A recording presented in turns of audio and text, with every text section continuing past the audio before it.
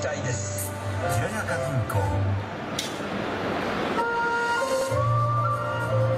実業団で働きながら練習する彼女たち。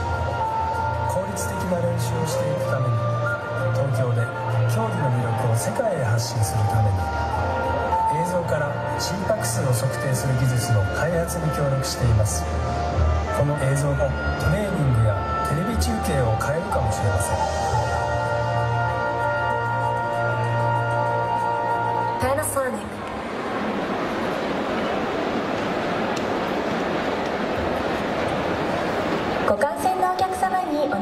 ます。プレー中はボールから目を離さないでください。ボールやバットが飛んでくることがございます。笛などで注意喚起があれば両手で頭を覆い体を丸くしてかがみ打球などを避けてください。